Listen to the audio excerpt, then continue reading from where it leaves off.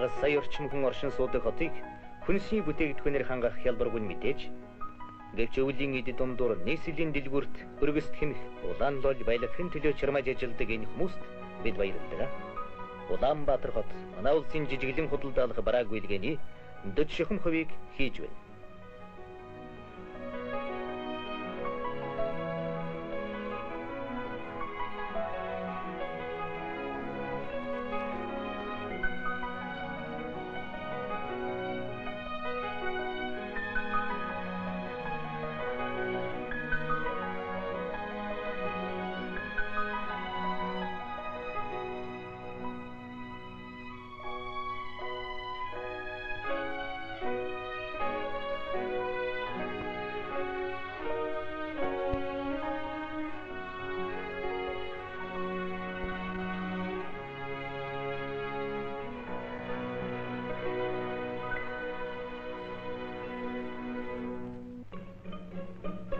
манай хөрш Сибирийн алдартай хот Эрхүүгийн хүнд цочод.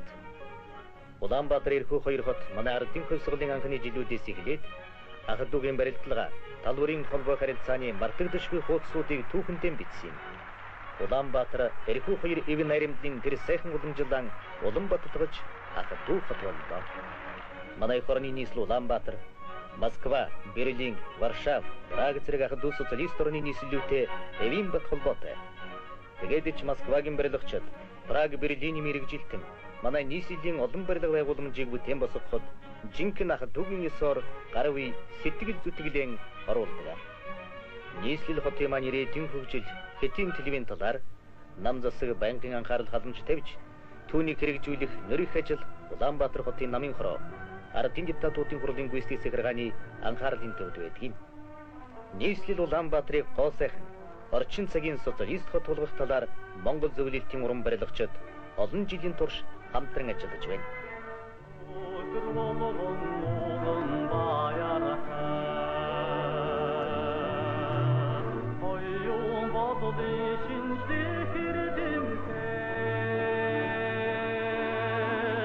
Сахилга шугамын алхах тунган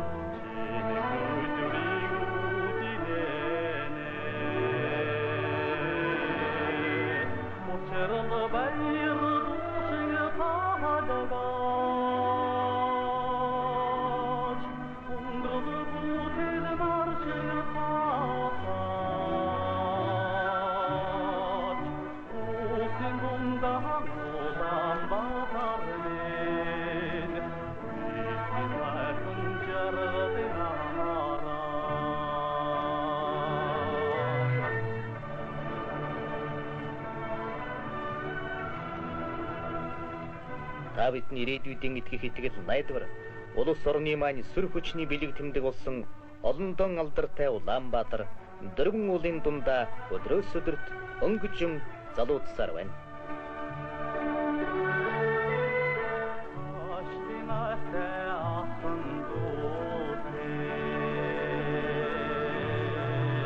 Араван токосудин